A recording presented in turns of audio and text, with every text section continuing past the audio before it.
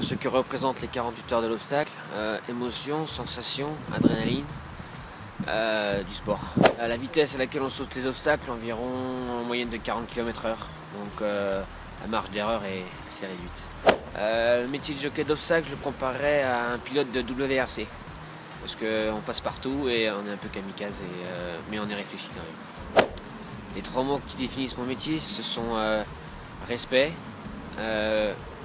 cohésion avec l'animal et euh, métier unique.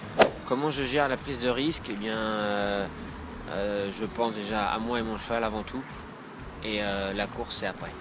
Le challenge de l'obstacle des 48 heures cette année, il est que pour moi, donc venez m'encourager. Je vous donne rendez-vous le 7 et 8 novembre à Auteuil. Vous voulez gagner des tapis? Faut venir.